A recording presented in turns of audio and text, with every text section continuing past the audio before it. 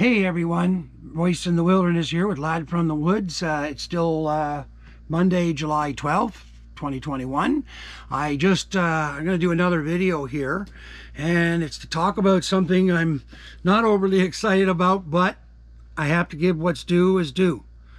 Okay, and this will be pretty much the first thing that I agree I watched this little article on Krystal and Saagar today regarding Joe Biden and these ongoing wars. And uh, he was talking to a news reporter, and she asked him, you know, uh, pressed him on like you know well what about these women you know that are that are uh, you know going to have all these problems once we leave and da da da da and he answers back well what about the, all the people that are in China, you know, that are having this? What about people elsewhere? You know, and he says that they've got, Afghans got to stand up on their own, but America can't keep going around and doing this. Well, holy fuck, Joe Biden.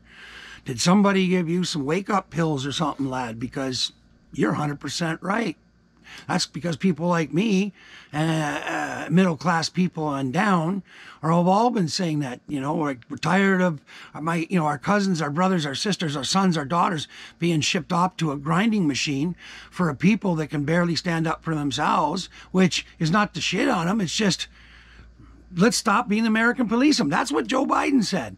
He essentially said what we have been hearing, uh, me as a kid, and saying myself since the 60s. America doesn't need to be the world's policeman and having the sons and daughters, including Canadians up here, going through these grinding machines. Okay? If someone's going to attack, it's going to happen and you can't stop it. No one stopped Japan and Steel camera must have been overheating or we'll know in a minute because uh, it'll shut down again, but it shouldn't because I've got tons of room, tons of power. So I don't know.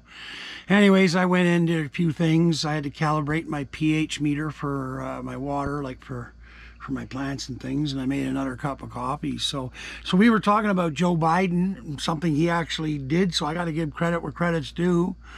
Um, this thing where, you know, of course, he's sticking to his word about pulling out the troops of Afghanistan, uh, you know, and uh, basically questioning why are we going around all these countries depending other people's, you know, women and things, uh, and then other ones we don't. It doesn't make any sense. So, and of course, it, it makes even less sense to keep shipping off, you know, all these, uh, you know, uh, all these you know, uh, you know, family members, cousins, you know, uh, 18 year olds, you know, like coming out of school. It's just insane. And uh, now in a year and a half, we've been through this pandemic. And I mean, even Biden realizes like enough, like enough already, man. Like everybody, you know, so these wars have got to be, you know, and he sees it. And I'm like, fuck, finally. You know, why are we being the world's policeman? And I'm like, fuck. So, you know, there's a couple of things that I, I, I, thought I'd never live to see, and one was legal marijuana here in Canada, which of course it is now, and um, uh, then the other thing was, of course, the um, the UFO subject being treated seriously, and uh, we're finally getting to the point of reveals and stuff, and the government finally admitting. So that's number two. So, you know, and. Uh, Fuck, I had a number three. I can't remember what it was. So it was legal marijuana. It was that, and uh, oh, the return of the Who.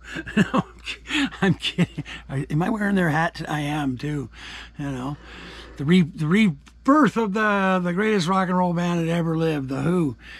new album there. Shit. Anyways, so that I'll give Joe Biden uh, the credit for that.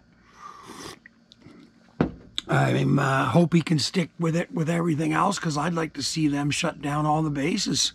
Bring these, bring these bases home. Bring all this shit home, and uh, you know the money you're saving from all that. You know, I mean, you could be helping a lot of people, probably just about everybody, if you shut down just all the American bases around the world that aren't needed. You know, I mean, really, the only bases we need are like United States. put the ships around and, you know, aim the missiles uh, whichever way you think they're uh, likely to go in a an event. No, I mean, okay, that's stupid, but I'm just saying that, like, it just, it doesn't make sense. And then keeping all these troops there when, you know, they could be here. Now, they're, you know, people are going to say, well, what are they going to do about work and stuff like that? Well, perhaps Biden will have another brain fart and actually start doing something about jobs in the country, you know. But, anyways, I'm not going to get into all that. I'm not hopeful of any of it. So, anyways, I just wanted to give credit where credit was due uh, with, uh, with Biden, President Biden, whatever. And, uh, yeah, what else is there to say? So please like, share, and subscribe. and uh, if you like, uh, if you like what I'm doing, and I still have three other channels you can come see. Uh, you can check all those links out at linktree slash lad from the woods. And uh, if you want to help support my channels and the like, uh, it's buymeacoffee.com slash lad from the woods. Okay, well, everybody be safe, be cool, be happy. Uh, if you haven't got your vax yet and you're getting it, getting it. If you're not getting it, it's nobody's business, and don't feel embarrassed. And nobody, and everybody else out there, you don't you don't shit shame these people. You leave them the fuck alone. It's their business. Okay, bye.